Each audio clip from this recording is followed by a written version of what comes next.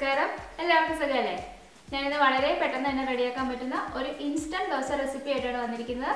നമുക്ക് നോക്കാം എങ്ങനെ ചെയ്യാന്ന്. അപ്പോൾ ഇതാണ് ഇന്നത്തെ നമ്മുടെ ഐറ്റം ടൊമാറ്റോ ദോശ.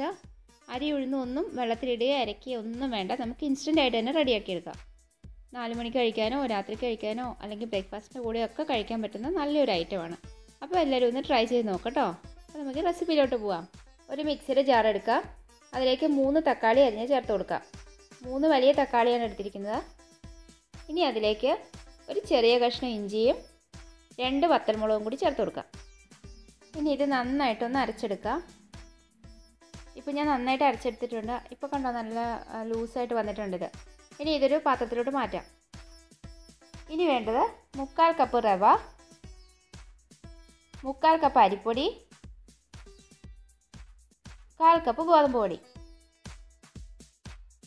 ഇനി വേണ്ടത് ആവശ്യത്തിന് ഉപ്പ് കാൽ ടീസ്പൂൺ കായപ്പൊടി.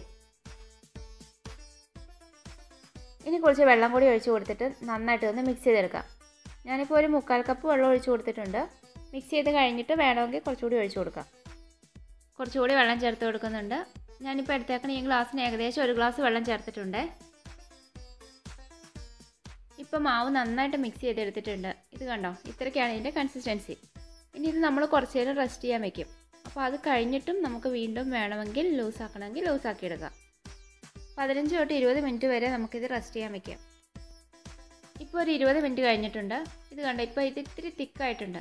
കാരണം മാവൊക്കെ നന്നായിട്ട് മിക്സ് ചെയ്ത് നല്ല കുഴഞ്ഞു വന്നിട്ടുണ്ട്. അപ്പോൾ അതിലേക്ക് ഞാൻ ഇത്തിരി കൂടി വെള്ളം ചേർത്ത് കൊടുക്കുന്നുണ്ട്. പിന്നെ ഈ ഈ സമയത്ത് ഇതിൽ വെള്ളം ചേർക്കുന്നത് നമ്മുടെ ഇഷ്ടം അനുസരിച്ച് ചേർത്ത് കൊടുക്കാം. ഇത് നോർമലി ഇതിപ്പോൾ തമിഴ്നാട്ടിലുള്ള എന്റെ ഒരു ഫ്രണ്ടൊക്കെ ചെയ്യണമെന്ന് വെച്ചിട്ടുണ്ടെങ്കിൽ അവർ നന്നായിട്ട് ലൂസാക്കി എടുക്കും. എന്നിട്ടാണ് നല്ല വെള്ളം പോലെ എടുത്തിട്ടാണ് ദോശ ഇടാറ്. പക്ഷെ ഞാനങ്ങനെ ചെയ്ത് നോക്കിയപ്പോൾ എനിക്ക് ആ ദോശ വെന്ത് കിട്ടാനും കുറച്ച് പാടാണ്. എനിക്കത് അത്രയ്ക്ക് അങ്ങോട്ട് ഇഷ്ടമായില്ല അപ്പോൾ ഞാൻ അത്രയ്ക്കും വെള്ളം ചേർക്കുന്നില്ല. അപ്പോൾ നിങ്ങൾ രണ്ട് രീതിയിലും ചെയ്ത് നോക്കാം കേട്ടോ. നിങ്ങൾക്ക് ഇഷ്ടമുള്ള രീതിയിൽ എന്നിട്ട് ചെയ്യാം. ഞാൻ കുറച്ച് വെള്ളം ചേർത്തത് ഇത്രയ്ക്കേ ലൂസാക്കി എടുത്തിട്ടുള്ളൂ. അപ്പോൾ പരിപാടി കഴിഞ്ഞിട്ടുണ്ട്. നല്ല എളുപ്പമല്ലേ? ഇനിയിപ്പോൾ നമുക്കിത് ചുട്ടെടുക്കാം. ദോശക്കല്ല് വെച്ചിട്ടുണ്ട് നന്നായിട്ട് ചൂടായിട്ടുണ്ട്. ഇനി അതിലേക്ക് നമുക്ക് ദോശമാവ് ഒഴിച്ചു കൊടുക്കാം. ഇത് കട്ടിയായിട്ട് ചുടണോ നൈസായിട്ട് ചുടണോ എന്നൊക്കെ നിങ്ങളുടെ ഇഷ്ടം അനുസരിച്ച് ചുട്ട് കൊടുക്കാം കേട്ടോ. ഇത് വെന്ത് കിട്ടാൻ ഇത്തിരി ടൈം എടുക്കും. ഞാൻ എപ്പോഴും നൈസായിട്ട് ചുടുന്ന ദോശയാട്ടോ എനിക്കിഷ്ടം. കട്ടിയുള്ള ദോശ എനിക്ക് നല്ല പേപ്പർ പോലെ ആക്കി എടുക്കുവാണെങ്കിൽ അത്രയും ഇഷ്ടമായിരിക്കും പിന്നെ നമുക്കിതിലേക്ക് എണ്ണയോ നെയ്യോ ഒക്കെ ചേർത്ത് കൊടുക്കാവേ. ഞാനിപ്പോൾ ഇത്തിരി നെയ്യാണ് ചേർത്ത് കൊടുക്കുന്നത് അപ്പോൾ നല്ല മുരിഞ്ഞ് കിട്ടും. നല്ല എളുപ്പമായിട്ട് തോന്നുന്നില്ലേ? ഇത്തിരി മിക്സിയിലൊന്ന് അരച്ചെടുത്ത് കഴിഞ്ഞ് പൊടികളൊന്ന് മിക്സ് ചെയ്തെടുത്താൽ നമുക്ക് പെട്ടെന്ന് ദോശ റെഡിയാക്കാം. അപ്പോൾ ഇതൊരു ഇൻസ്റ്റന്റ് ദോശയാണ്.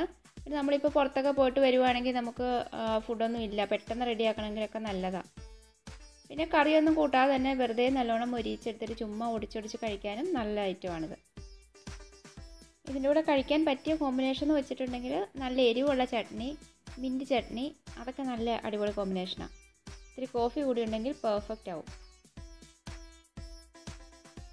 അപ്പോൾ നമ്മുടെ ഇൻസ്റ്റന്റ് ദോശ റെഡി ആയിട്ടുണ്ട്. ഞാൻ ഇതിന്റെ കൂടെ കഴിക്കാൻ എടുത്തിരിക്കുന്ന ചട്നി എടുത്തിട്ടുണ്ട്. പിന്നെ നമ്മുടെ ഈ വത്തൽമുളകും ഉള്ളിയും കൂടെ ചതച്ചിട്ടൊരു ചട്നി എടുക്കില്ലേ അതും എടുത്തിട്ടുണ്ട്. പിന്നെ കൂടെ എടുത്തിരിക്കുന്നത് കോഫി